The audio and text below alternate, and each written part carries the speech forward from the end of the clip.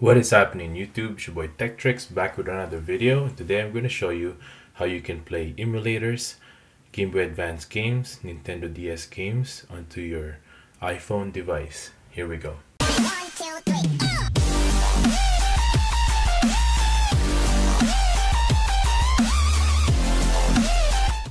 Before we get to anything else, Make sure to subscribe to my channel, hit that notification bell so you can be notified of newest tips and tricks on your iPhone. Make sure you check out my merch down below, 1130.ca. Share this to your friends, and here we go. So as you guys can see here, I'm playing Mario Kart. And you'll be able to download any games for your uh, iPhone. So you could play Nintendo DS games and Game Boy Advance games. As you can see here, if you guys already know the Nintendo, DS bottom part is a touchscreen so you'll you'll be able to touch but this part is not touchscreen. So you guys can see there you can choose whatever character you'd like and you can go ahead and start a game. So let's get started. What you want to do is go to tweakboxapp.com press install and then press allow in this case I've already downloaded it, so I don't I don't have to do that so I'm just gonna ignore. But for you guys press allow. And then what you want to do is go to settings and go to general profiles and device management. And then you're gonna have to go to this window right here where it says tweakbox press install up here and then install. Once you've done that you'll be able to see an app called tweakbox on your home screen you can go ahead and open that up in there. You'll be brought to this home page screen right here.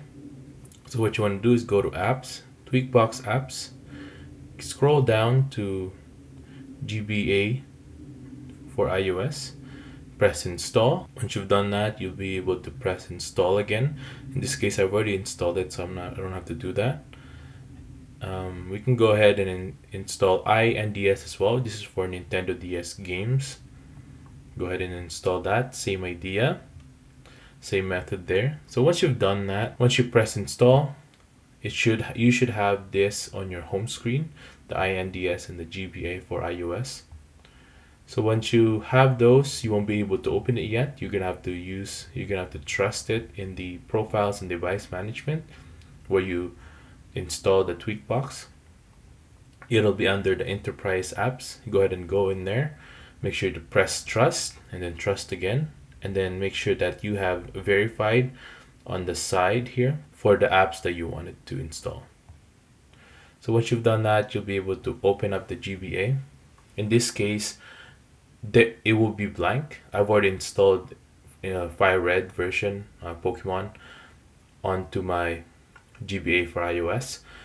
So it'll come up here. But for you guys it would be blank in this case we're gonna need to install games into here. What you want to do is go to app store now and you're gonna have to search total files or total. Make sure to install and download that. Once you've done that you can go ahead and open it up. And then in this case you're gonna go to the side here which is the web version. You're gonna go to ROMs mode go ahead and search that out romsmode.com this is where you can download all your, your ROMs for your Game Boy Advance. So go ahead let's go ahead and click that. Let's go and try out the Pokemon Emerald version here. Let's go ahead and download now. There you go it'll take a few seconds before it starts downloading. So just give it a second make sure that it's doing something up there the the loading bar and just wait it out before um, you start doing anything else or else it won't work. There we go. Prompt us to download. Okay we can go ahead and download that. Done.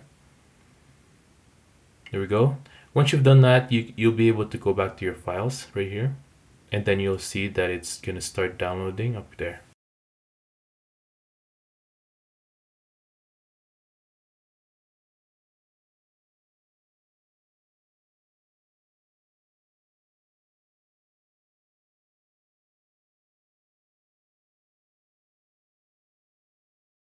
The download time will depend on how fast your internet is at home.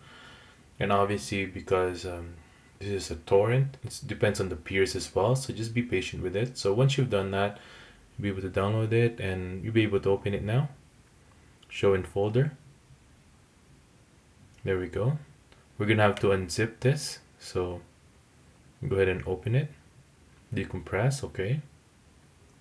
Once it decompress, you'll be able to see it up here on your folders right there. Pokemon Emerald version U. This is the actual file now, so we can go ahead and send this. Share. Press that share button and go ahead and share it to copy to GBA for iOS. There we go. It'll automatically copy that there. So once you've done that, you'll be able to click it and then you'll be able to play it. And there we go. Now in this case, um, it's not touchscreen because you guys already know this is uh, Game Boy Advance, so there's no touchscreen for that. But yeah, you'll be able to use your keypads right here below.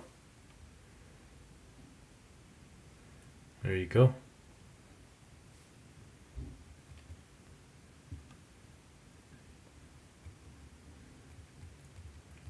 That is the best way so that you can play all your Game Boy Advance. Let's go ahead and go to iNDS now. This again, this would be blank right here. So for you to download ROMs, you'll have to press that search bar up there. And then we're gonna go either use ROMs Mania or ROMs mode. We're just gonna use ROMs mode because it worked for us last time. So let's go ahead and um, download any game that you want here. So let's say we want Super Mario Bros pretty good so we can go ahead and download that. Again this will take a second to just wait it out. It says here downloading started already so let's press done. Right there.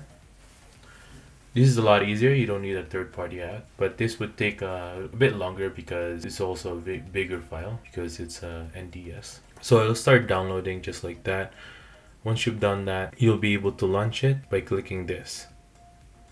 So let's say let's just launch it normally. There we go. You can also have different settings here by clicking the settings button up there. Right there, you can change ROMs right here and then. You don't have to go back. You can also change the layout. You can have layout settings make your own profiles and stuff like that. You can save state in between in between your gameplay. This is the best way so that when you're let's say you're trying to catch a pokemon and you don't want to go back to the last saved game you can do this like you can save mid-game and things things like that. You can also play the game uh, slower or faster. You can have cheats as well where you can you know press y for power-ups camera key codes, all sorts of things. You can add cheats for that as well. that's pretty cool. Emulator settings. You can disable the touchscreen, volume bu button bumpers, all sorts of things. So you guys go ahead and play with that. And there you go. This is the best way so that we can have Game Boy Advance games and Nintendo DS games on our iPhone device. Well, that's it for today guys. Hope you guys enjoyed this video make sure to hit that subscribe button and hit that like button so that you guys can see more of my videos uh, in a later time. More tips and tricks for your iphone and android. To check out my merch below as well 1130.ca hit that like button share it to your friends and see you guys next time. Stay grateful